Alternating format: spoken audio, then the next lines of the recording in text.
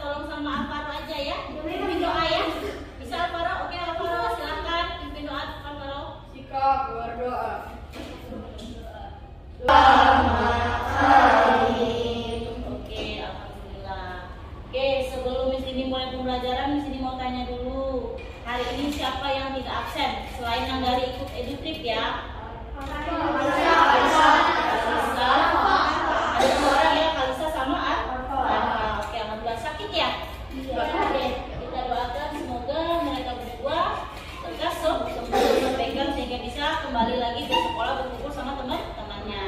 que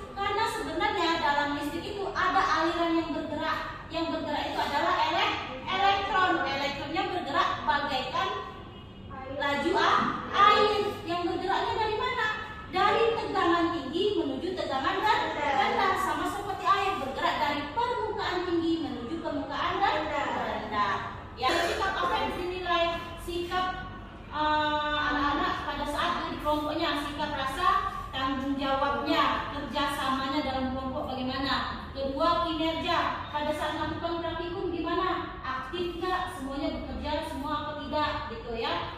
Terus ya, di akhir nanti Miss Dini akan ada kuis seperti ini. Miss Dini minta tolong sama siapa ya? Coba deh Latisha. Nah sekarang Miss Dini minta tolong coba Latisha matikan lampunya. Oke mati lampunya? Iya. coba Latisha hmm. hidupkan lagi. Tekan lagi.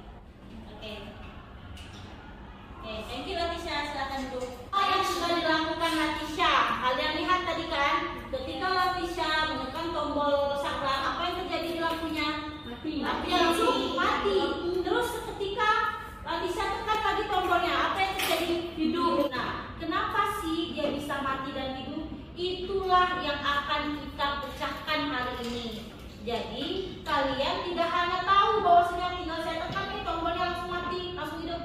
Jadi kita akan kaji, kita akan bahas kenapa hal itu bisa terjadi, kenapa tiba-tiba dengan satu kali tekanan aku langsung bisa hidup, dengan satu kali tekanan aku bisa langsung mati. Jadi itulah permasalahan kita hari ini yang akan kita pecahkan. Itu Miss Dini sudah membagi kalian menjadi beberapa kelompok silakan dilihat ada kelompok 1, 2, 3, dan 4 masing-masing kelompok beranggotakan 5 sampai 6 orang. Silakan duduk di kelompoknya masing-masing. Sembari kalian duduk di kelompoknya masing-masing mestinya akan bagikan LKPD-nya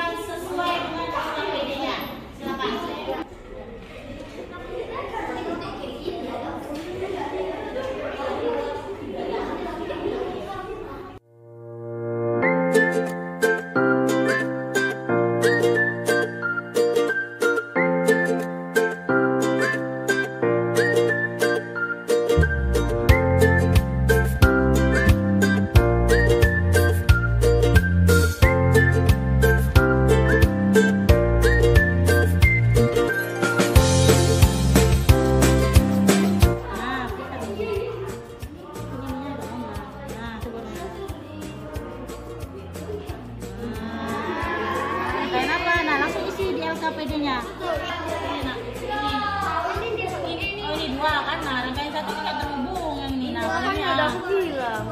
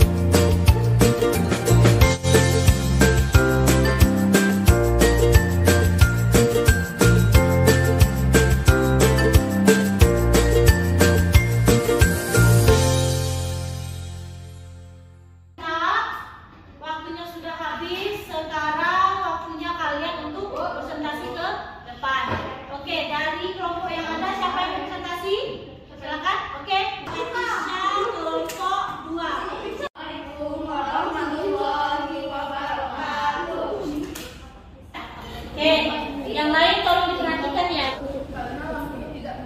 Oke, terakhir. Terakhir jenis rangkaian empat tertutup. Alasannya karena kedua lampunya menyala. Oke, untuk pertanyaannya gimana? Rangkaian listrik terbuka terdapat pada rangkaian listrik nomor satu dan tiga. Oke, perhatikan yang lain ya. Apa yang bisa kita tarik dari percobaan kita hari ini? Jika rangkaiannya terbuka berarti arusnya, arusnya tidak mengalir. Dan sebaliknya, jika rangkaian tertutup berarti arusnya mengalir. Jadi kesimpulan pembelajaran kita hari ini dari praktikum yang diterangkan bahwasanya rangkaian terbuka dan tertutup itu bedanya adalah terletak dari mengalir atau tidaknya lah eh, arus listrik. Kalau pada rangkaian tertutup arus listriknya bagaimana? Mengalir, ditandai dengan menyalanya lampu.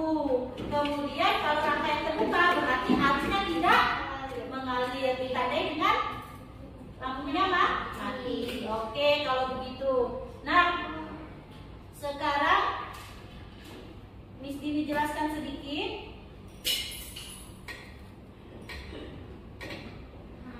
Jadi begini, sebenarnya konsep arus listrik itu lihat sini, mengalir dari potensial tinggi menuju potensial rendah. Jadi di sini ya lihat ya, yang A ini potensialnya lebih karena tanda plusnya lebih banyak. Sedangkan ini potensial rendah, makanya arusnya akan mengalir dari potensial tinggi ke potensial rendah. Nah, ini tadi rangkaian terbuka. Contoh rangkaian terbuka yang kalian lakukan. Ciri-cirinya lampunya akan mati, arus listriknya tidak menga- mengalir. Soalnya ampere. Dan Q itu adalah muatan listriknya. Lalu T itu adalah waktu satuannya second atau detik. Ya, oke. Sampai di sini bisa dipahami? Bisa. Bisa. Apakah ada pertanyaan? Ada. Oke, kalau begitu Miss Dini mau bertanya. Kira-kira bagaimana perasaan kalian setelah mengikuti pembelajaran hari ini? Oke, kalau tidak ada pertanyaan, untuk pembelajaran besok, tolong anak-anak pelajari dulu, baca-baca dulu tentang isolator dan konduktor. Jadi insya Allah besok kita akan praktikum lagi. Nah silakan kalian baca-baca dulu mengenai isolator dan konduk konduktor ya untuk pertemuan besok. Oke, kalau begitu Miss Dini tutup ya. Let's say hamdalah.